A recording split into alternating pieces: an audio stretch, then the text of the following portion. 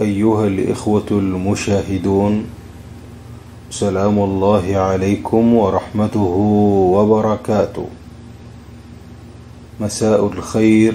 إن كان وقتكم الآن مساء أو صباح الخير. إن كان وقتكم الآن صباحا.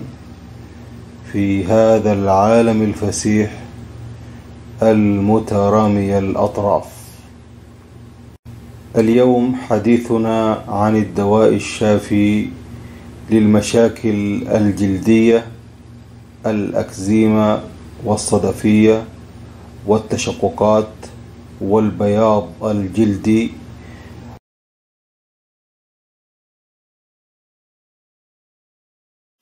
وسبب هذا الموضوع وهذه الوصفة هي أن أحد أبنائي مصاب بمشكلة جلدية. يقول عنها الأطباء أنها نوع من أنواع الأكزيما. وكل طبيب يصرف لنا نوعا من الأدوية وجرب العشرات منها دون فائدة. وبعد تفكير قلت سوف أعمل له مركبا. خليط من العناصر التالية. أولها زيت جوز الهند المعصور على البارد والحقيقة الحصول عليه يحتاج لمهارة ووقت طويل قد تستمر في إعداده إلى أربع ساعات تقريبا. لكن إذا كنت تعرف عطارا موثوقا يجلبه لك من ثقات ومعصور على الطبيعة فهذا أفضل. وأنا جلبته من شخص أتعامل معه في محلات العطارة يعصرونه بأنفسهم أو أنه يجلبه من أناس يعصرونه بأنفسهم. وأخذت منه خمسة كيلو بخمسمائة ريال تقريبا. هذا هو المكون الأول ونأخذ منه مقدار هذا الفنجان الذي أمامكم هذا الفنجان وأنا أخذت ملأه قبل في هذه الخلطة التي ترونها أمامكم. لكن هذا الذي أمامكم هو الآن كان في الثلاجة وهو متجمد الآن أخرجته من الثلاجة لكن في هذه القارورة كان عندي جزء وضعته خارج الثلاجة فأصبح مذابا أو دهنيا مثل الزيت تقريبا. وأخذت منه مقدار هذا الفنجان ووضعته مع هذا الخليط.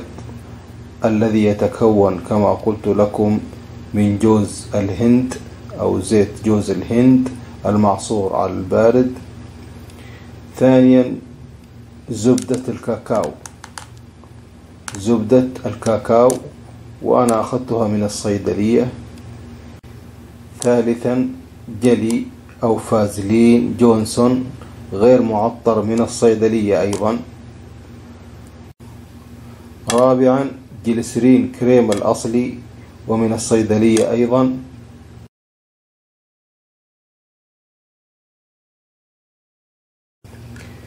خامسا بيتاديرم وهو كريم موجود في الصيدلية وأخذته من الصيدلية وعلى ما أعتقد أنه صناعة مصرية. فطريقة وأما طريقة التحضير فهي كالتالي. نأخذ من زيت جوز الهند مقدار فنجان القهوة كما ذكرته لكم. ثم مقدار ملعقة الطعام. هذه ملعقة الطعام من كل صنف من بقية الأصناف الأخرى. ثم نخلط الكمية في إناء مثل هذا.